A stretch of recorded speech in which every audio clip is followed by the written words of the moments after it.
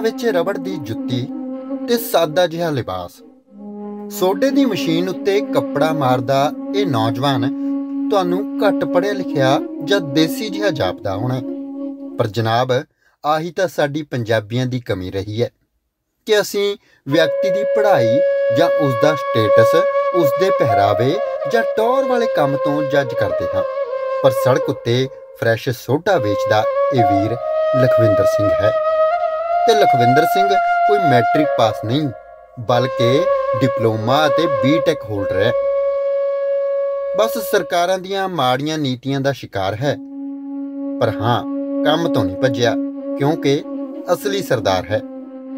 ਆਓ ਫਿਰ ਤੁਹਾਨੂੰ ਮਿਲਾਉਂਦੇ ਹਾਂ ਵੀਰ ਲਖਵਿੰਦਰ ਸਿੰਘ ਦੇ ਨਾਲ ਤੇ ਜਾਣਦੇ ਹਾਂ ਇਸ ਵੀਰ ਦੀ ਸੋਡਾ ਵੇਚਣ ਦੀ ਇਸ ਕਹਾਣੀ ਬਾਰੇ। ਅਸੀਂ ਜਿਹੜੇ ਪੈਸੇ ਕਮਾ ਰਹੇ ਮਾੜੇ ਕੰਮ ਨਾਲ ਨਹੀਂ ਚੰਗੇ ਕੰਮ ਨਾਲ ਕਮਾ ਰਹੇ ਆ। ਸੋ ਮੈਂ ਤਾਂ ਇਹੀ ਕਹੂੰਗਾ ਜੇ ਨੌਕਰੀ ਨਹੀਂ ਮਿਲਦੀ ਤਾਂ ਆਪਦੇ ਕੰਮ ਕਰੀਏ। ਬਾਹਰ ਜਾਣ ਨਾਲੋਂ ਚੰਗਾ ਹੈ ਇੱਥੇ ਰਹਿ ਕੇ ਪੰਜਾਬ ਵਿੱਚ ਰਹਿ ਕੇ ਪੰਜਾਬ ਦੀ ਸੇਵਾ ਕਰੀਏ। ਮੈਨੂੰ ਤਾਂ ਇਸ ਤਰ੍ਹਾਂ ਲੱਗਦਾ ਵੀ ਸਾਡੇ ਪੰਜਾਬੀ ਤਾਂ ਇਹ ਸਮਝਦੇ ਆ ਵੀ ਜਿਹੜੇ ਸੜਕਾਂ ਦੇ ਕਿਨਾਰੇ ਖੜ ਕੇ ਜੂਸ ਵੇਚਣਾ ਹੋਰ ਰੇੜੀਆਂ ਲਾਉਣੀਆਂ 버ਗਰ ਗੋਲ ਗੱਪੇ ਇਹ ਸਿਰਫ ਪ੍ਰਵਾਸੀਆਂ ਦਾ ਕੰਮ ਹੈ ਆਪਣਾ ਨਹੀਂ ਹੈਗਾ। ਤੁਹਾਨੂੰ ਨਹੀਂ ਇਹ ਲੱਗਿਆ? ਸਹੀ ਗੱਲ ਆ ਬਾਈ ਜੀ ਇਹ ਜਦੋਂ ਮੈਂ ਇਸ ਕੰਮ ਬਾਰੇ ਸੋਚਿਆ ਸੀ ਨਾ, ਤਾਂ ਮੇਰੇ ਮਾਪੇ ਨੇ ਖੁਦ ਕਿਹਾ ਸੀ ਵੀ ਕੀ ਕਰਨ ਲੱਗਿਆ ਤੂੰ? ਵੀ ਸਾਡੀ ਨੱਕ ਟਾਏਗਾ, ਵੀ ਰੇੜੀ ਫੜੀ ਲਾਏਗਾ ਹੁਣ ਤੂੰ?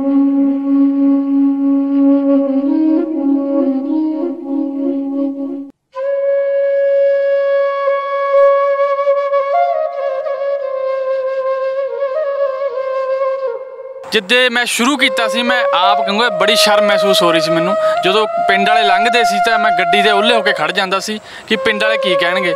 ਪਰ ਉਸ ਤੋਂ ਬਾਅਦ ਇਹ ਸੋਚਿਆ ਵੀ ਨਹੀਂ ਵੀ ਜੇ ਕੰਮ ਨਾ ਕੀਤਾ ਤਾਂ ਭੁੱਖਾ ਮਰੂੰਗਾ। ਸੋ ਇਸ ਕਰਕੇ ਫਿਰ ਮੈਂ ਹਿੰਮਤ ਕਰਕੇ ਆਪ ਦੇ ਕੰਮ ਵੱਲ ਫਿਰ ਮੈਂ ਆ ਗਿਆ। ਮੈਂ ਵੋਕੇਸ਼ਨਲ ਕੀਤੇ ਸੀ। ਵੋਕੇਸ਼ਨਲ ਤੋਂ ਬਾਅਦ ਫਿਰ ਮੈਂ ਡਿਪਲੋਮਾ ਵੀ ਕੀਤਾ ਹੋਇਆ ਹੈ। ਡਿਪਲੋਮੇ ਤੋਂ ਬਾਅਦ ਫਿਰ ਮੈਂ ਬੀਟੈਕ ਕੀਤੀ। ਹੁਣ ਬਾਹਰ ਜਾਂਦੇ ਅਸੀਂ 5 ਸਾਲ 10 ਸਾਲ ਉੱਥੇ ਵੀ ਡਟ ਕੇ ਮਿਹਨਤ ਕਰਦੇ ਨਾ ਅਸੀਂ। ਸੋ ਉਹੀ ਮਿਹਨਤ ਇੱਥੇ ਕਰ ਲਓ। ਆਪਦੇ ਮਾਪੇ ਕੋਲ ਰਹੋਗੇ ਆਪਦੇ ਘਰ ਰਹੋਗੇ ਦੁੱਖ ਤਕਲੀਫਾਂ ਉਹਨਾਂ ਦੀਆਂ ਜੋ ਵੀ ਹੋਣਗੇ ਤੁਸੀਂ ਦੇਖੋਗੇ ਸਹੀ। ਮਾਪੇ ਇੱਥੇ ਬਿਲਕਦੇ ਰਹਿੰਦੇ ਆ ਅਸੀਂ ਬਾਹਰ ਬਿਲਕਦੇ ਰਹਿੰਦੇ ਆ। ਮੁੜ ਕੇ ਜਦੋਂ ਉਹਨਾਂ ਦੀ ਮੌਤ ਹੋ ਜਾਂਦੀ ਹੈ ਫਿਰ ਅਸੀਂ ਅੱਗ ਲਾਉਣ ਆ ਜਾਂਦੇ ਜੀ। ਕਹਿੰਦੇ ਨੇ ਜ਼ਮੀਨ ਸਾਡੀ ਮਾਂ ਹੈ। ਸੋ ਅਸੀਂ ਮਾਂ ਨੂੰ ਵੇਚ ਰਹੇ ਹਾਂ ਸੋ ਬੇਨਤੀ ਆ ਜ਼ਮੀਨ ਨੂੰ ਨਾ ਵੇਚੋ, ਜਾਣਾ ਬਾਹਰ ਜ਼ਰੂਰ ਜਾਓ, ਕੰਮ ਕਰੋ।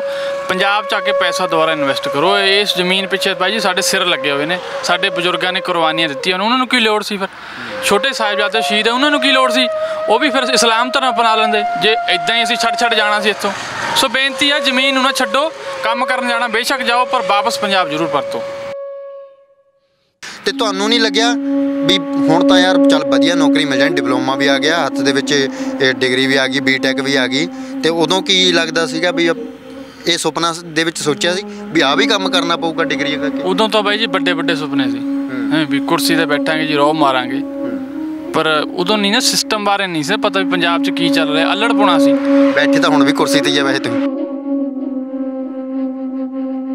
ਇੱਕ ਗੱਲ ਹੈ ਬਾਈ ਉਹ ਕੁਰਸੀ ਤੇ ਬੈਠ ਕੇ ਤੁਸੀਂ ਮੈਂ ਕਹਿੰਦਾ ਤੁਹਾਡੀ 5 ਲੱਖ ਵੀ ਤਨਖਾਹ ਹੁੰਦੀ, ਕਿਸੇ ਦੇ ਨੌਕਰ ਕਹਾਉਣਾ ਸੀ।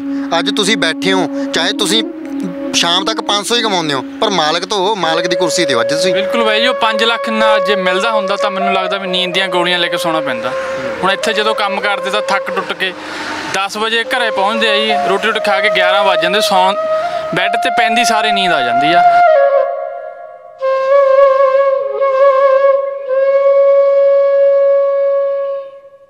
ਸਤਿ ਸ਼੍ਰੀ ਅਕਾਲ ਜੀ। ਤੁਸੀਂ ਪੰਜਾਬੀ ਲੋਕ ਚੈਨਲ ਵੇਖ ਰਹੇ ਹੋ। ਦੋਸਤੋ, ਆਮ ਤੌਰ ਤੇ ਇੱਕ ਧਾਰਨਾ ਬਣੀ ਹੋਈ ਹੈ ਕਿ ਪੰਜਾਬੀ ਜਦੋਂ ਥੋੜਾ ਬਹੁਤ ਪੜ੍ਹ ਲਿਖ ਜਾਂਦੇ ਆ, ਤਾਂ ਫਿਰ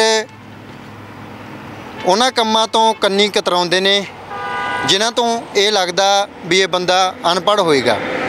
ਜਾਂ ਇਹ ਵੇਖਿਆ ਜਾਂਦਾ ਹੈ ਵੀ ਜਦੋਂ ਕਿਤੇ ਆਪਾਂ ਬਾਹਰ ਰੋਡ ਦੇ ਉੱਤੇ ਜਾਂਦੇ ਆ ਤੇ ਸੜਕ ਦੇ ਉੱਤੇ ਕਈ ਫੜੀਆਂ ਲੱਗੀਆਂ ਹੁੰਦੀਆਂ, ਰੇੜੀਆਂ ਲੱਗੀਆਂ ਹੁੰਦੀਆਂ, ਜੂਸ ਦੀਆਂ ਸਟਾਲਾਂ ਲੱਗੀਆਂ ਹੁੰਦੀਆਂ। ਤਾਂ ਉੱਥੋਂ ਅਸੀਂ ਧਾਰਨਾ ਇਹ ਲਗਾਉਂਦੇ ਆ ਵੀ ਇਹ ਜਿਹੜਾ ਬੰਦਾ ਕੰਮ ਕਰਦਾ, ਇਹ ਵਿਚਾਰਾ ਮਾਤੜ ਹੋਊਗਾ, ਘੱਟ ਪੜਿਆ ਲਿਖਿਆ ਹੋਊਗਾ। ਪਰ ਅੱਜ ਇਸ ਧਾਰਨਾ ਨੂੰ ਗਲਤ ਕੀਤਾ, ਗਲਤ ਸਾਬਿਤ ਕੀਤਾ ਇਸ ਵੀਰ ਨੇ, ਜਿਹਦੀ ਅਸੀਂ ਤੁਹਾਨੂੰ ਕਹਾਣੀ ਦਿਖਾਉਣ ਜਾ ਰਹੇ ਹਾਂ। ਜੀ ਹਾਂ, ਇੱਕ ਪੰਜਾਬੀ ਗੁਰਸਿੱਖ ਨੌਜਵਾਨ ਹੈ। ਜਿਹੜਾ ਪੜ੍ਹ ਤੱਕ ਬਹੁਤ ਗਿਆ ਬੀਟੈਕ ਕੀਤੀ ਹੋਈ ਹੈ, ਪਰ ਮਿਹਨਤ ਤੋਂ ਨਹੀਂ ਭੱਜਿਆ। ਨੌਕਰੀ ਨਹੀਂ ਮਿਲੀ। ਇਹ ਅੱਜ ਦੀ ਕਹਾਣੀ ਜਿੱਥੇ ਇਸ ਵੀਰ ਦੇ ਲਈ ਆਪਾਂ ਨੇ ਇਸ ਨੂੰ ਹੀਰੋ ਸਾਬਿਤ ਕਰੇਗੀ, ਉੱਥੇ ਸਰਕਾਰਾਂ ਦੇ ਉੱਤੇ ਵੀ ਸਵਾਲ ਖੜੇ ਕਰੇਗੀ। ਸੋ ਅਸੀਂ ਉਹ ਵੀਰ ਦੇ ਨਾਲ ਤੁਹਾਡੀ ਮੁਲਾਕਾਤ ਕਰਵਾਉਣੀ ਆ। ਅਸੀਂ ਇਸ ਵਕਤ ਘਨੌਲੀ ਪਿੰਡ ਆਏ, ਬੈਰੀਅਰ ਪੈਂਦਾ ਬੈਰੀਅਰ ਤੋਂ ਥੋੜਾ ਗਾਂ ਆ ਕੇ ਇਹ ਵੀਰ ਖੜਦਾ ਆਪਣੀ ਗੱਡੀ ਲੈ ਕੇ ਇੱਥੇ ਸੋਡਾ ਵੇਚਦਾ ਹੈ ਫਰੈਸ਼ ਸੋਡਾ 10 ਰੁਪਏ 15 ਰੁਪਏ 20 ਰੁਪਏ ਵੱਖ-ਵੱਖ ਰੇਟ। ਸੋ ਗੱਲਬਾਤ ਆਪਾਂ ਕਰਨੀ ਆ ਇਸ ਵੀਰ ਦੇ ਨਾਲ।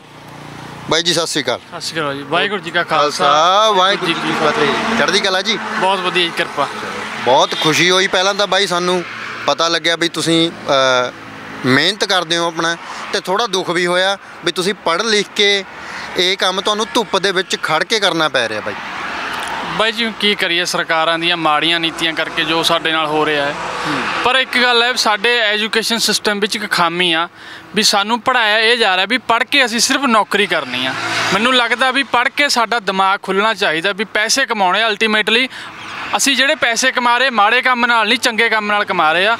ਸੋ ਮੈਂ ਤਾਂ ਇਹੀ ਕਹੂੰਗਾ ਜੇ ਨੌਕਰੀ ਨਹੀਂ ਮਿਲਦੀ ਤਾਂ ਆਪਦੇ ਕੰਮ ਕਰੀਏ। ਬਾਹਰ ਜਾਣ ਨਾਲੋਂ ਚੰਗਾ ਹੈ ਇੱਥੇ ਰਹਿ ਕੇ ਪੰਜਾਬ ਵਿੱਚ ਰਹਿ ਕੇ ਪੰਜਾਬ ਦੀ ਸੇਵਾ ਕਰੀਏ। ਨਾਮ ਕੀ ਤੁਹਾਡਾ? ਮੇਰਾ ਨਾਮ ਲਖਵਿੰਦਰ ਸਿੰਘ ਹੈ ਜੀ। ਲਖਵਿੰਦਰ ਸਿੰਘ ਕਿਹੜੇ ਪਿੰਡ ਤੋਂ ਤੁਸੀਂ? ਸਰ ਮੈਂ ਪਹਿਲਾਂ ਘਨੌਲਾ ਪਿੰਡ ਸੀ ਹੁਣ ਉਹ ਪਿੰਡ ਸਾਡੀ ਜਿਹੜੀ ਪੰਚਾਇਤ ਆ ਉਹ ਅਲੱਗ ਹੋ ਗਈ। ਹੁਣ ਜੱਟ ਪੱਤੀ ਸੈਣੀ ਮਾਜਰਾ ਬਣ ਗਿਆ ਜੀ। ਜੱਟਪੱਤੀ ਸੈਣਮਾ ਹਾਂਜੀ। ਠੀਕ ਹੈ ਤੇ ਤੁਸੀਂ ਬੀਟੈਕ ਕਦੋਂ ਕਰਦੇ ਹੋ ਬਾਈ? ਸਰ ਮੈਂ 2014 ਤੋਂ ਲੈ ਕੇ 2018 ਦੇ ਬੈਚ ਵਿੱਚ ਬੀਟੈਕ ਕੰਪਲੀਟ ਕੀਤੀ ਜੀ ਆਪਣੀ। ਉਸ ਤੋਂ ਬਾਅਦ ਮੈਂ, ਕਿਉਂਕਿ ਸਾਡਾ ਜਿਹੜਾ ਏਰੀਆ ਹੈ, ਉਹ ਹਿਮਾਚਲ ਦੇ ਨਾਲ ਲੱਗਦਾ। ਹਿਮਾਚਲ 'ਚ ਇੰਡਸਟਰੀ ਬਹੁਤ ਹੈ, ਨਾਲਾਗੜ੍ਹ ਬੱਦੀ। ਸੋ ਮੈਂ ਬੱਦੀ ਜੌਬ ਕੀਤੀ 1 ਸਾਲ। ਪਰ ਕੁਝ ਫੈਮਿਲੀ ਪ੍ਰੋਬਲਮਸ ਕਰਕੇ ਉਹ ਮੈਨੂੰ ਛੱਡਣੀ ਪੈ ਗਈ। ਉਸ ਤੋਂ ਬਾਅਦ ਟਰਾਈ ਕੀਤਾ। ਇੱਕ ਵਾਰੀ ਜੌਬ ਜਦੋਂ ਛੁੱਟ ਜਾਂਦੀ ਹੱਥੋਂ ਤਾਂ ਮੁੜ ਕੇ ਮਿਲਦੀ ਨਹੀਂ। ਪੰਜਾਬ ਵਿੱਚ ਜਿਹੜਾ ਠੇਕਾ ਸਿਸਟਮ ਚੱਲਦਾ ਹੈ, ਸਰਕਾਰੀ ਨੌਕਰੀਆਂ ਵਿੱਚ, ਉੱਥੇ 10 12000 ਤਨਖਾਹ ਮਿਲਦੀ ਹੈ। ਜਦੋਂ ਤੱਕ ਦਾ ਬੰਦਾ ਇਕੱਲਾ ਹੈ ਕੁਆਰਾ ਹੈ, ਉਦੋਂ ਤੱਕ ਚੱਲੀ ਜਾਂਦਾ ਹੈ। ਜਦੋਂ ਬੰਦੇ ਦੀ ਫੈਮਿਲੀ ਹੋ ਗਈ, ਅੱਗੇ ਬੱਚੇ ਹੋ ਗਏ ਤਾਂ ਸਰਦਾ ਨਹੀਂ। ਸੋ ਉਸ ਤੋਂ ਬਾਅਦ ਫਿਰ ਮੈਂ ਧੱਕੇ ਤੁੱਕੇ ਖਾਣ ਤੋਂ ਬਾਅਦ ਆਪ ਦੇ ਕੰਮ ਵੱਲ ਆਇਆ ਜੀ। ਇਹ ਕੰਮ ਤੁਸੀਂ ਕਰ ਰਹੇ ਹੋ ਚਲੋ ਬਹੁਤ ਵਧੀਆ ਬਾਈ ਮਿਹਨਤ ਕਰ ਰਹੇ ਹੋ ਤੁਸੀਂ ਮਿਹਨਤ ਤੋਂ ਨਹੀਂ ਭੱਜੇ ਇਹਦੇ ਲਈ ਤੁਹਾਨੂੰ ਮੁਬਾਰਕਬਾਦ ਪਰ ਤੁਹਾਨੂੰ ਨਹੀਂ ਇਹ ਲੱਗਿਆ ਮੈਨੂੰ ਤਾਂ ਇਸ ਤਰ੍ਹਾਂ ਲੱਗਦਾ ਵੀ ਸਾਡੇ ਪੰਜਾਬੀ ਤਾਂ ਇਹ ਸਮਝਦੇ ਆ ਵੀ ਜਿਹੜੇ ਸੜਕਾਂ ਦੇ ਕਿਨਾਰੇ ਖੜ ਕੇ ਜੂਸ ਵੇਚਣਾ ਹੋਰ ਰੇੜੀਆਂ ਲਾਉਣੀਆਂ 버ਗਰ ਗੋਲ ਗੱਪੇ ਇਹ ਸਿਰਫ ਪ੍ਰਵਾਸੀਆਂ ਦਾ ਕੰਮ ਹੈ ਆਪਣਾ ਨਹੀਂ ਹੈਗਾ ਤੁਹਾਨੂੰ ਨਹੀਂ ਇਹ ਲੱਗਿਆ ਸਹੀ ਗੱਲ ਆ ਬਾਈ ਜੀ ਇਹ ਜਦੋਂ ਮੈਂ ਇਸ ਕੰਮ ਬਾਰੇ ਸੋਚਿਆ ਸੀ ਨਾ ਤਾਂ ਮੇਰੇ ਮਾਪੇ ਨੇ ਖੁਦ ਕਿਹਾ ਸੀ ਵੀ ਕੀ ਕਰਨ ਲੱਗਿਆ ਤੂੰ? ਵੀ ਸਾਡੀ ਨੱਕ ਕਟਾਏਗਾ ਵੀ ਰੇੜੀ ਫੜੀ ਲਾਏਗਾ ਹੁਣ ਤੂੰ? ਵੀ ਇੰਨਾ ਤੈਨੂੰ ਕਿਸ ਵਾਸਤੇ ਪੜਾਇਆ ਲਿਖਾਇਆ ਸੀ? ਪਰ ਮੈਂ ਉਹਨੂੰ ਕਿਹਾ ਵੀ ਜੇ ਮੈਂ ਕੰਮ ਨਾ ਕੀਤਾ ਤੁਸੀਂ ਵੀ ਭੁੱਖੇ ਮਰਨਾ ਮੈਂ ਵੀ ਕਰਨਾ ਮਰਨਾ ਭੁੱਖੇ। ਸੋ ਇਸ ਕਰਕੇ ਫਿਰ ਮੈਂ ਆਪ ਦੇ ਕੰਮ ਵੱਲ ਆਇਆ। ਜਿਹੜਾ ਰੇੜੀ ਫੜੀ ਲਵਾਉਣ ਦੀ ਗੱਲ ਆ ਬਾਈ ਜੀ ਹੁਣ ਇਹ ਤਾਂ ਇੱਕ ਕੜੀ ਜੁੜੀ ਹੋਈ ਹੈ ਸਾਰੇ ਕੰਮਾਂ ਦੀਆਂ ਕੜੀਆਂ ਜੁੜੀਆਂ ਹੋਈਆਂ। ਅਸੀਂ ਆ ਕੜੀ ਤੋੜ ਬੈਠੇ। ਛੋਟੇ ਕੰਮਾਂ ਤੋਂ ਅਸੀਂ ਭੱਜ ਰਹੇ ਹਾਂ। ਹੁਣ ਅਸੀਂ ਬਾਹਰ ਜਾਂਦੇ ਉੱਥੇ ਕੀ ਕਰਦੇ? ਉੱਥੇ ਕਿਹੜਾ ਸਾਨੂੰ ਜਾ ਕੇ ਵਾਈਟ ਕਾਲਰ ਜੌਬ ਮਿਲ ਜਾਂਦੀ ਆ? ਉੱਥੇ ਜਾ ਕੇ ਵੀ ਤੇ ਛੋਟੇ ਕੰਮੇ ਕਰਦੇ ਆ। ਉਹ ਕੰਮ ਅਸੀਂ ਆਪਦੇ ਘਰ ਵਿੱਚ ਰਹਿ ਕੇ ਕਿਉਂ ਨਹੀਂ ਕਰਦੇ? ਨਹੀਂ ਇੱਥੇ ਇਹ ਦੇਖੂਗੇ ਸਾਨੂੰ ਕੋਈ ਦੇਖ ਲੂੰਗਾ ਉਹ ਕੀ ਕਹਿਣਗਾ ਉਹ ਇਹ ਕਿਉਂ ਕਹਿਣਗਾ?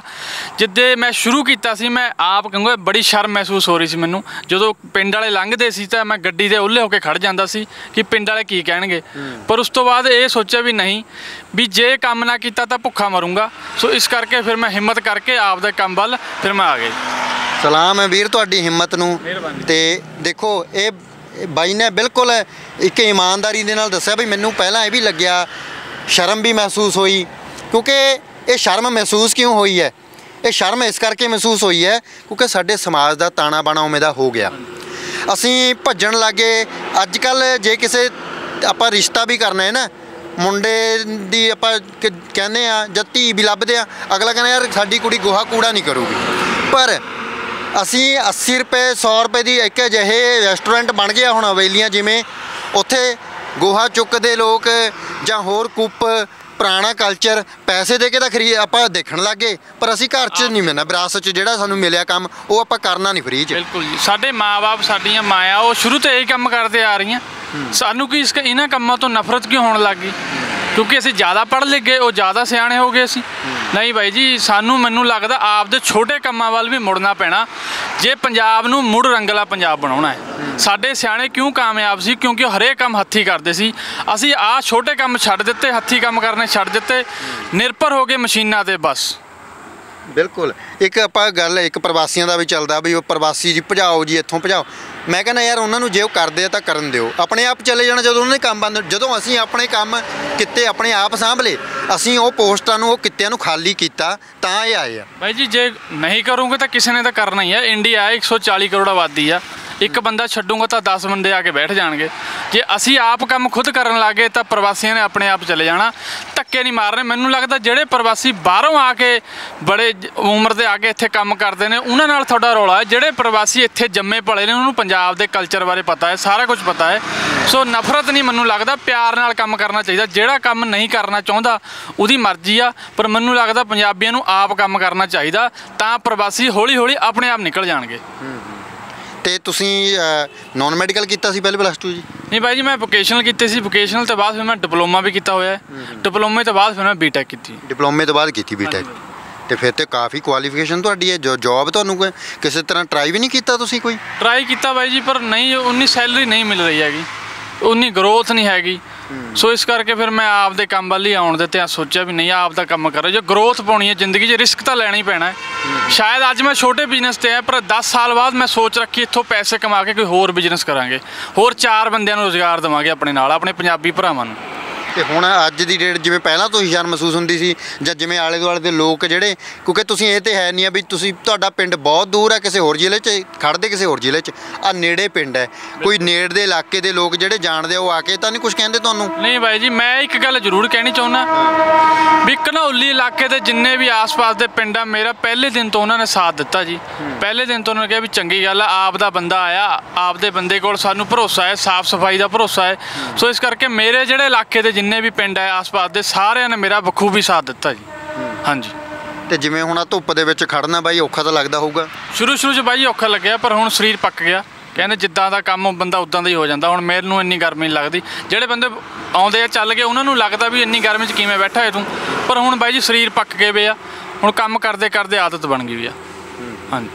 ਤੇ ਬਿਲਕੁਲ। ਸੋ ਲਖਵਿੰਦਰ ਸਿੰਘ ਇੱਥੇ ਬਾਈ ਆਪਣੀ ਗੱਡੀ ਲਗਾਉਂਦੇ ਆ ਤਾਂ ਮੈਂ ਜ਼ਰੂਰ ਕਹਾਂਗਾ ਜਿਹੜੇ ਵੀਰ ਅਨੰਦਪੁਰ ਸਾਹਿਬ ਨੂੰ ਜਾਂਦੇ ਆ ਤਾਂ ਅਨੰਦਪੁਰ ਰੋਡ ਦੇ ਉੱਤੇ ਹੀ ਘਨੌਲੀ ਬੈਰੀਅਰ ਟੱਪਦੀ ਸਾਰ ਅ, ਜਦੋਂ ਆਪਾਂ ਅਨੰਦਪੁਰ ਸਾਈਡ ਨੂੰ ਜਾਂਦੇ ਆ ਤਾਂ ਤੁਹਾਨੂੰ ਖੱਬੇ ਹੱਥ ਹੀ ਮਿਲੇਗਾ ਵੀਰ।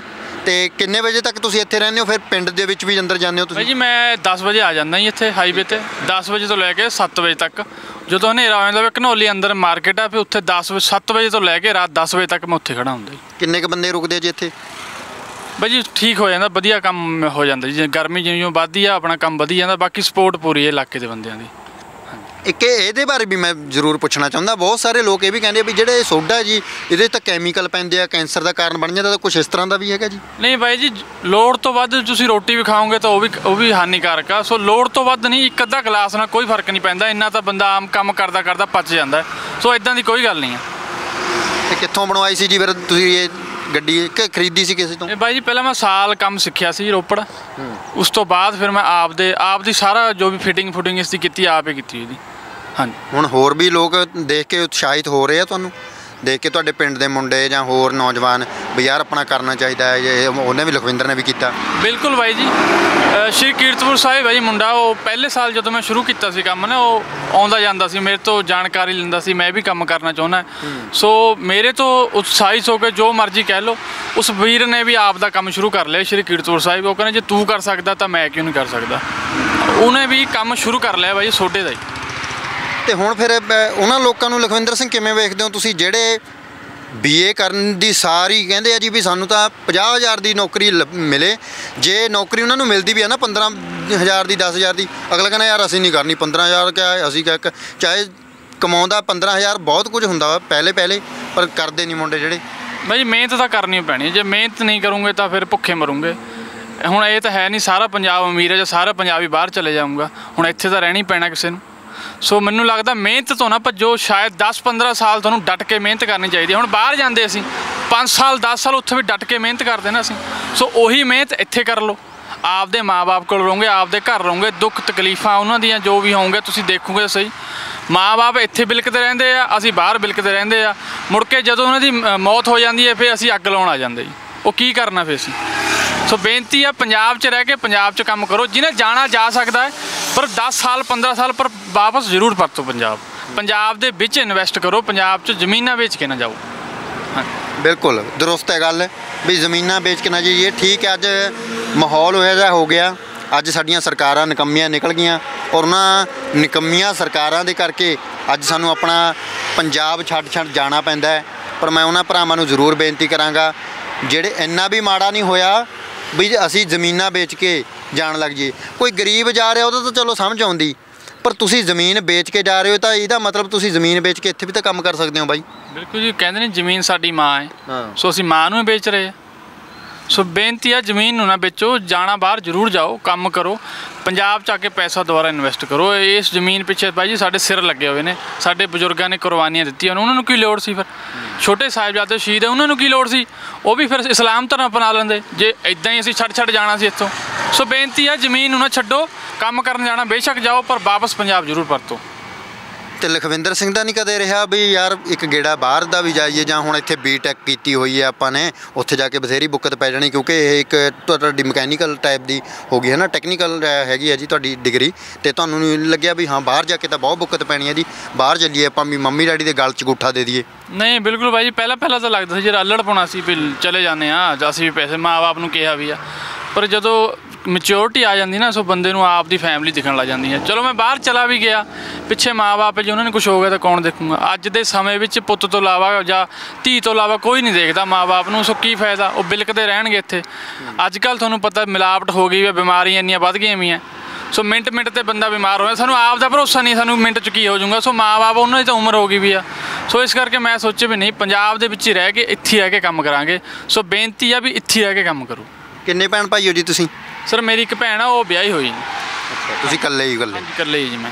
ਤੇ ਤੁਸੀਂ ਜਦੋਂ ਡਿਪਲੋਮਾ ਕੀਤਾ ਉਸ ਤੋਂ ਬਾਅਦ ਇਹ ਡਿਗਰੀ ਕੀਤੀ ਬੀਟੈਕ ਕੀਤੀ ਤੇ ਤੁਹਾਨੂੰ ਨਹੀਂ ਲੱਗਿਆ ਵੀ ਹੁਣ ਤਾਂ ਯਾਰ ਚੱਲ ਵਧੀਆ ਨੌਕਰੀ ਮਿਲ ਜਾਣੀ ਡਿਪਲੋਮਾ ਵੀ ਆ ਗਿਆ ਹੱਥ ਦੇ ਵਿੱਚ ਇਹ ਡਿਗਰੀ ਵੀ ਆ ਗਈ ਬੀਟੈਕ ਵੀ ਆ ਗਈ ਤੇ ਉਦੋਂ ਕੀ ਲੱਗਦਾ ਸੀਗਾ ਵੀ ਇਹ ਸੁਪਨਾ ਦੇ ਵਿੱਚ ਸੋਚਿਆ ਸੀ ਵੀ ਆ ਵੀ ਕੰਮ ਕਰਨਾ ਪਊਗਾ ਡਿਗਰੀਆਂ ਕਰਕੇ? ਉਦੋਂ ਤਾਂ ਬਾਈ ਜੀ ਵੱਡੇ ਵੱਡੇ ਸੁਪਨੇ ਸੀ। ਵੀ ਕੁਰਸੀ ਤੇ ਬੈਠਾਂਗੇ ਜੀ ਰੋਬ ਮਾਰਾਂਗੇ। ਹੂੰ। ਪਰ ਉਦੋਂ ਨਹੀਂ ਨਾ ਸਿਸਟਮ ਬਾਰੇ ਨਹੀਂ ਸੀ ਪਤਾ ਵੀ ਪੰਜਾਬ 'ਚ ਕੀ ਚੱਲ ਰਿਹਾ ਅਲੜ ਪਾਉਣਾ ਸੀ। ਬੈਠੇ ਤਾਂ ਹੁਣ ਵੀ ਕੁਰਸੀ ਤੇ ਹੀ ਆ ਵੈਸੇ ਤੁਸੀਂ। ਹਾਂਜੀ ਚਲੋ ਇਹ ਤਾਂ ਚਲੋ ਜਿਹੜੀ ਮਿਲ ਗਈ ਲੋਕਾਂ ਦੁਆਰਾ ਦੇਤੀ। ਕੁਰਸੀ ਕੁਰਸੀ 'ਚ ਫ਼ਰਕ ਹੈ ਪਰ ਹੈ ਨਾ? ਕੁਰਸੀ ਪਿੱਛੇ ਲੜਾਈ ਆ ਜੀ। ਅੱਜ ਕੱਲ ਸਰਕਾਰਾਂ ਦੀ ਕੁਰਸੀ ਇੱਕ ਗੱਲ ਹੈ ਬਾਈ ਉਹ ਕੁਰਸੀ ਤੇ ਬੈਠ ਕੇ ਤੁਸੀਂ ਮੈਂ ਕਹਿੰਦਾ ਤੁਹਾਡੀ 5 ਲੱਖ ਵੀ ਤਨਖਾਹ ਹੁੰਦੀ ਕਿਸੇ ਦੇ ਨੌਕਰ ਕਹਾਉਣਾ ਸੀ। ਅੱਜ ਤੁਸੀਂ ਬੈਠੇ ਹੋ ਚਾਹੇ ਤੁਸੀਂ ਸ਼ਾਮ ਤੱਕ 500 ਹੀ ਕਮਾਉਂਦੇ ਹੋ ਪਰ ਮਾਲਕ ਤੋਂ ਹੋ ਮਾਲਕ ਦੀ ਕੁਰਸੀ ਤੇ ਹੋ ਅੱਜ ਤੁਸੀਂ। ਬਿਲਕੁਲ ਬਾਈ ਜੀ ਉਹ 5 ਲੱਖ ਨਾਲ ਜੇ ਮਿਲਦਾ ਹੁੰਦਾ ਤਾਂ ਮੈਨੂੰ ਲੱਗਦਾ ਵੀ ਨੀਂਦ ਦੀਆਂ ਗੋਲੀਆਂ ਲੈ ਕੇ ਸੌਣਾ ਪੈਂਦਾ। ਹੁਣ ਇੱਥੇ ਜਦੋਂ ਕੰਮ ਕਰਦੇ ਤਾਂ ਥੱਕ ਟੁੱਟ ਕੇ 10 ਵਜੇ ਘਰੇ ਪਹੁੰਚਦੇ ਆ ਜੀ ਰੋਟੀ ਰੋਟੀ ਖਾ ਕੇ 11 ਵਜ ਜਾਂਦੇ ਸੌਂ ਬੈੱਡ ਤੇ ਪੈਂਦੀ ਸਾਰੇ ਨੀਂਦ ਆ ਜਾਂਦੀ ਆ। ਸਵੇਰੇ 6 ਵਜੇ ਠੀਕ ਆਪ ਦੀ ਅੱਖ ਖੁੱਲ ਜਾਂਦੀ ਆ, ਆਪ ਦਾ ਕੰਮ ਆਪ ਕਰਦੇ ਆ। ਸੋ ਇਦਾਂ ਦੀ ਕੋਈ ਗੱਲ ਨਹੀਂ ਆ ਆਪ ਦੇ ਕੰਮ ਤੇ ਆਪ ਦਾ ਹੀ ਕੰਮ ਹੁੰਦਾ ਜੀ। ਹਾਂਜੀ। ਤੇ ਹੁਣ ਉਹਨਾਂ ਵੀਰਾਂ ਭੈਣਾਂ ਨੂੰ ਇੱਕ ਸੁਨੇਹਾ ਜ਼ਰੂਰ ਮੈਂ ਕਹਿੰਦਾ ਵੀਰੇ ਤੁਸੀਂ ਦੇ ਦਿਓ ਵੀ ਜਿਹੜੇ ਵੈਸੇ ਤਾਂ ਕੰਮ ਡੱਕਾ ਤੋੜ ਕੇ ਰਾਜ ਨਹੀਂ ਪਰ ਉਵੇਂ ਦੇ ਛੋਟੇ ਕੰਮ ਪਰ ਛੋਟੇ ਕੰਮ ਜੇ ਇੱਕ ਉਹਦੇ ਚ ਲੱਗੇ ਜਿਵੇਂ ਮੈਂ ਪਹਿਲਾਂ ਵੀ ਗੱਲ ਕੀਤੀ ਵੀ ਹਵੇਲੀ ਟਾਈਪ ਦੇ ਉਹ ਖੁੱਲ ਗਏ ਆ ਨਾ ਹਵੇਲੀਆਂ ਤਾਂ ਉੱਥੇ ਪੈਸੇ ਦੇ ਕੇ ਜ਼ਰੂਰ ਖਰੀਦਣਗੇ ਵੀ ਜਾਂ ਦੇਖਣਗੇ ਉਹ ਚੀਜ਼ਾਂ ਨੂੰ ਉਹਨਾਂ ਦਾ ਆਨੰਦ ਲੈਣਗੇ ਘਰ ਚਾਹੇ ਬਿਲਕੁਲ ਨਹੀਂ ਕਰਨਗੇ ਜੀ। ਨਹੀਂ ਮੈਨੂੰ ਲੱਗਦਾ ਹੁਣ ਹੱਥੀਂ ਕੰਮ ਕਰਨ ਦੀ ਲੋੜ ਆ ਗਈ ਵੀ ਆ। ਹੁਣ ਉਹ ਟਾਈਮ ਨਹੀਂ ਰਿਹਾ ਨਾ ਹੁਣ ਤਾਂ ਕੰਮ ਕਰਨਾ ਹੀ ਪੈਣਾ, ਜੇ ਨਹੀਂ ਤਾਂ ਭੁੱਖੇ ਮਰ ਜੂਗੇ। ਬਾਕੀ ਸਰਕਾਰਾਂ ਦਾ ਤਾਂ ਪਹਿਲੀ ਜ਼ੋਰ ਲੱਗਿਆ ਵੀ ਪੰਜਾਬ ਨੂੰ ਬਰਬਾਦ ਕਰਦੀ ਅਸੀਂ। ਸੋ ਪੰਜਾਬ ਨੂੰ ਰੰਗਲਾ ਪੰਜਾਬ ਅਸੀਂ ਉਹ ਮਿਲ ਕੇ ਬਣਾ ਸਕਦੇ ਸਰਕਾਰਾਂ ਦੇ ਦਾਅਵੇ ਆ, ਉਹ ਤਾਂ ਕਹਿੰਦੇ ਰਹਿਣਗੇ, ਰੰਗਲਾ ਪੰਜਾਬ ਬਣਾਵਾਂਗੇ, ਅਸੀਂ ਇਦਾਂ ਬਣਾਵਾਂਗੇ। ਸਾਨੂੰ ਆਪ ਨੂੰ ਇਹ ਪੰਜਾਬੀ ਨੂੰ, ਪੰਜਾਬੀ ਦਾ ਹੱਥ ਫੜਨਾ ਪੈਣਾ ਹੈ। ਛੋਟੇ ਕੰਮਾਂ ਵੱਲ ਵੀ ਆਉਣਾ ਪੈਣਾ। ਜ਼ਰੂਰੀ ਨਹੀਂ ਵੀ ਛੋਟਾ ਕੰਮ ਸਾਰੀ ਉਮਰੇ ਕਰਨਾ ਤੁਸੀਂ। 5 ਸਾਲ 7 ਸਾਲ 10 ਸਾਲ ਪੈਸਾ ਇਕੱਠਾ ਕਰੋ। ਇੱਥੋਂ ਹੋਰ ਇਨਵੈਸਟ ਕਰੋ। ਚਾਰ ਬੰਦੇ ਨੂੰ ਆਪਣੇ ਨਾਲ ਹੋਰ ਜੋੜੋ। ਸੋ ਕੰਮ ਕਰਨੇ ਪੈਣੇ ਆ ਬਾਈ ਜੀ ਨਹੀਂ ਤਾਂ ਫਿਰ ਖਤਮ ਹੋ ਕਹਾਣੀ ਸਮਝੋ ਤੁਸੀਂ ਆਪ ਨੇ ਬਿਲਕੁਲ ਛੋਟੇ ਛੋਟੇ ਤੋਂ ਕਹਿੰਦੇ ਬੂੰਦ ਬੂੰਦ ਦੇ ਨਾਲ ਸਾਗਰ ਭਰਦਾ। ਬਿਲਕੁਲ ਜੀ ਬਿਲਕੁਲ ਛੋਟੇ ਕੰਮ ਕਰੋ। ਜ਼ਰੂਰੀ ਨਹੀਂ ਵੀ ਇੱਥੇ ਬੈਠਣਾ ਹੈ ਵੀ ਹੋਰ ਕੰਮ ਜੋੜੋ ਚਾਰ ਬੰਦਿਆਂ ਨੂੰ ਹੋਰ ਨਾਲ ਜੋੜੋ। ਜਦੋਂ ਜੋ ਆਹ ਕੰਮ ਕਰੋਗੇ ਚਾਰ ਬੰਦਿਆਂ ਨੂੰ ਤੁਸੀਂ ਹੋਰ ਉਤਸ਼ਾਹਿਤ ਕਰੋਗੇ ਉਹ ਵੀ ਕੰਮ ਕਰਨਗੇ ਫਿਰ। ਸੋ ਛੋਟੇ ਕੰਮ ਜ਼ਰੂਰ ਸ਼ੁਰੂ ਕਰੋ ਕਿਉਂਕਿ ਰਿਸਕ ਨਹੀਂ ਹੈਗਾ ਇਸ ਛੋਟੇ ਕੰਮਾਂ 'ਚ। ਜੇ ਕੱਲ੍ਹ ਨੂੰ ਬੰਦ ਵੀ ਹੋ ਜਾਂਦਾ ਤੁਹਾਡੀ ਜੇਬ ਤੇ ਅਸਰ ਨਹੀਂ ਹੁੰਦਾ। ਵੱਡਾ ਕੰਮ ਕਰੋਗੇ 20 ਲੱਖ ਦਾ। ਜੇ ਉਹ ਕੰਮ ਡੁੱਬ ਗਿਆ ਤਾਂ ਤੁਹਾਡੀ ਮੌਤ। ਆ ਤੇ ਫਿਰ ਸਰਦੀ 'ਚ ਕੀ ਕਰੋਗੇ ਬਾਈ ਜੀ? ਤੁਸੀਂ ਜਿਵੇਂ ਹੁਣ ਇਹ ਆ ਚਲੋ ਗਰਮੀ 'ਚ ਤਾਂ ਤੁਸੀਂ ਵੇਚ ਲਓਗੇ ਸਰਦੀ ਦੇ ਵਿੱਚ। ਬਾਈ ਜੀ ਮੈਂ ਅ, ਕੌਫੀ ਵਾਲੀ ਮਸ਼ੀਨ ਦੀ ਸਲਾਹ ਬਣਾ ਰਿਹਾ। ਜਿੱਦਾਂ ਹੁਣ ਅ, ਵਿਆਹਾਂ 'ਚ ਵੀ ਪ੍ਰਵਾਸੀਓ ਭਾਰੀ ਆ ਸਟਾਲਾਂ ਤੇ ਚਲੇ ਜਾਓ ਜੋ ਮਰਜ਼ੀ ਕਰ ਲਓ ਪ੍ਰਵਾਸੀਓ ਭਾਰੀ ਆ। ਸੋ ਉੱਥੇ ਮੇਰੀ ਇਹ ਵੀ ਸਲਾਹ ਹੈ ਕੌਫੀ ਵਾਲੀ ਮਸ਼ੀਨ ਲੈ ਕੇ ਹੌਲੀ ਹੌਲੀ ਵਿਆਹਾਂ ਵਾਲੇ ਸੀਜ਼ਨ ਵਿੱਚ ਵੀ ਐਂਟਰੀ ਕੀਤੀ ਜਾਵੇ। ਤੇ ਉੱਥੇ ਵੀ ਬੰਦੇ ਨੂੰ ਉਤਸ਼ਾਹਿਤ ਕਰਕੇ ਚਾਰ ਬੰਦੇ ਹੋਰ ਆਪ ਦੇ ਨਾਲ ਜੋੜੇ ਜਾਣ ਜਿਹੜੀਆਂ ਸਟਾਲਾਂ ਪ੍ਰਵਾਸੀ ਲਾਉਂਦੇ ਉੱਥੇ ਪੰਜਾਬੀ ਵੀ ਰਕਾਬਜ ਹੋਣ। ਬਿਲਕੁਲ ਜੀ। ਬਿਲਕੁਲ ਜਾਂ ਸਰਦੀਆਂ ਦੇ ਵਿੱਚ ਸੂਪ ਵਗੈਰਾ ਵੀ ਬੜਾ ਚੱਲਦਾ ਜੀ। ਜੋ। ਦੇਖਾਂਗੇ ਸਲਾਹ ਬਣਾਵਾਂਗੇ ਜੋ ਬਣਿਆ। ਵੈਸੇ ਮੇਰੀ ਕਾਫੀ ਦੀ ਮਸ਼ੀਨ ਦੀ ਸਲਾਹ ਹੈ। ਸੋ ਹਜੇ ਸੂਪ ਬਣਾਉਣ ਚ ਮੈਂ ਇੰਨਾ ਹੋਇਆ ਨਹੀਂ ਅਜੇ। ਜੇ ਬਣ ਗਿਆ ਤਾਂ ਜ਼ਰੂਰ ਆਪਾਂ ਉਧਰ ਵੀ ਟਰਾਈ ਕਰਾਂਗੇ ਪਰ ਕੰਮ ਨਹੀਂ ਆਪਾਂ ਛੱਡਣਾ ਕੋਈ ਵੀ ਛੋਟਾ।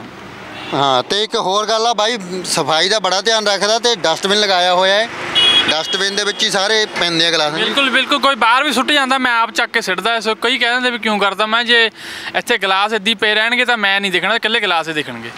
ਸੋ ਸਫ਼ਾਈ ਤਾਂ ਜ਼ਰੂਰੀ ਹੈ ਜੀ। ਬਿਲਕੁਲ। ਜਿਵੇਂ ਅਸੀਂ ਆਪਦੇ ਘਰੇ ਸਫ਼ਾਈ ਰੱਖਦੇ ਆ ਉਵੇਂ ਇੱਥੇ ਵੀ ਇਹ ਵੀ ਮੇਰਾ ਇੱਕ ਤਰ੍ਹਾਂ ਦਾ ਘਰੇ ਆ ਮੈਨੂੰ 3 ਸਾਲ ਹੋ ਗਏ ਹੁਣ ਇਹ ਮੇਰਾ ਘਰੇ ਆ ਇਹ। ਅੱਛਾ 3 ਸਾਲ ਤੋਂ ਲਗਾ ਰਹੇ ਹੋ ਤੁਸੀਂ? ਜੀ ਬਾਈ 3 ਸਾਲ ਹੋ ਗਏ ਇੱਕ ਸਾਲ ਮੈਂ ਕੰਮ ਸਿੱਖਿਆ ਸੀ 3 ਸਾਲ ਹੋ ਗਏ ਮੈਨੂੰ ਇਸ ਜਗ੍ਹਾ ਖੜਦੇ ਨੂੰ। ਅੱਛਾ। ਹਾਂਜੀ। 4 ਸਾਲ ਟੋਟਲ ਹੋ ਗਏ? ਬਿਲਕੁਲ ਬਾਈ 4 ਸਾਲ ਹੋ ਗਏ। ਸੋ ਬਿਲਕੁਲ ਲਖਵਿੰਦਰ ਸਿੰਘ ਨੇ ਕਿਸਮਤ, ਜਿਹੜੀ ਅਜ਼ਮਾਈ ਨੌਕਰੀ ਕੀਤੀ, ਪਰ ਉੱਥੇ ਸਾਥ ਨਹੀਂ ਦਿੱਤਾ ਜਾਂ ਫਿਰ ਸਰਕਾਰਾਂ ਦਾ ਜੋ ਮਾੜੀਆਂ ਨੀਤੀਆਂ ਰਹੀਆਂ ਨੇ, ਉਹਦਾ ਸ਼ਿਕਾਰ ਲਖਵਿੰਦਰ ਸਿੰਘ ਰਿਹਾ। ਪਰ ਲਖਵਿੰਦਰ ਸਿੰਘ ਨੇ ਅੱਜ ਉਹਨਾਂ ਨੌਜਵਾਨਾਂ ਲਈ ਇੱਕ ਸੇਧ ਦਿੱਤੀ ਹੈ ਉਹਨਾਂ ਨੌਜਵਾਨਾਂ ਨੂੰ, ਵੀ ਦੇਖੋ, ਕੰਮ ਕੋਈ ਛੋਟਾ ਵੱਡਾ ਨਹੀਂ ਹੁੰਦਾ। ਤੁਹਾਡੀ ਪੜ੍ਹਾਈ ਦੇ ਨਾਲ ਤੁਸੀਂ ਆਪਣਾ ਕਿੱਤਾ ਚੁਣਦੇ ਹੋ ਜਾਂ ਤੁਸੀਂ ਦੇਖਦੇ ਹੋ ਵੀ ਇਹ ਤਾਂ ਛੋਟਾ ਮੇਰੀ ਪੜ੍ਹਾਈ ਵੱਡੀ ਹੈ, ਤਾਂ ਉਹ ਹੰਕਾਰ ਵਾਲੀ ਗੱਲ ਹੈ, ਉਹ ਹਉਮੈ ਵਾਲੀ ਗੱਲ ਹੈ। ਸੋ ਉਸ ਹੰਕਾਰ ਤੇ ਹਉਮੈ ਤੋਂ ਰਹਿਤ ਹੋ ਕੇ ਲਖਵਿੰਦਰ ਸਿੰਘ ਨੇ ਇਹ ਕੰਮ ਸ਼ੁਰੂ ਕੀਤਾ ਤੇ ਬਾਈ ਜੀ ਦੀ ਹਿੰਮਤ ਨੂੰ ਅਸੀਂ ਫਿਰ ਸਲਾਮ ਕਰਦੇ ਹਾਂ ਤੇ ਅਸੀਂ ਬਾਕੀ ਭਰਾਵਾਂ ਨੂੰ ਵੀ ਜਿਹੜੀ ਆਪਣੀ ਜ਼ਿੰਦਗੀ ਤਾਂ ਜਿਉਂਦੇ ਨੇ, ਪਰ ਫੋਕੀ ਸ਼ੌਹਰਤ ਜਿਹੜੀ ਹੈਗੀ ਆ, ਉਹ ਲੋਕ ਚਾਹੁੰਦੇ ਨੇ ਜਿਹੜੇ ਉਹਨਾਂ ਲਈ ਅਸੀਂ ਜ਼ਰੂਰ ਕਹਾਂਗੇ ਵੀ ਇਹ ਵੀਰ ਤੋਂ ਜ਼ਰੂਰ ਸਿੱਖੀਏ।